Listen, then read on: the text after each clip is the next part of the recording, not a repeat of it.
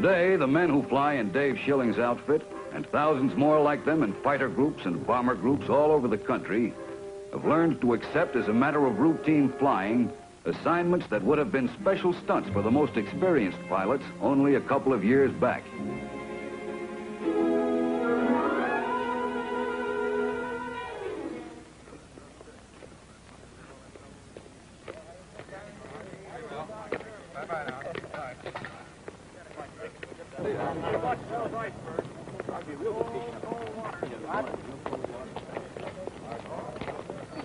Sure, that's all I've ever run. They used up all our equipment.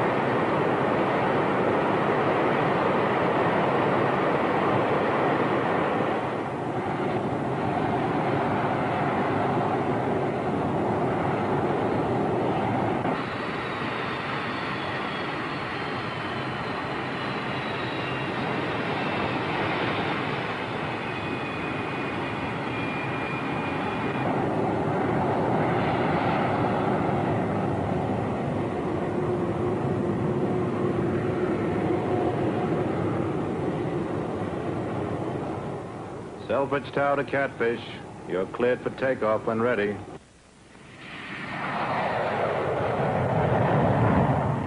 Today, the aim of the U.S. Air Force is to become a weapon so formidable that no potential enemy will dare risk its counter blows.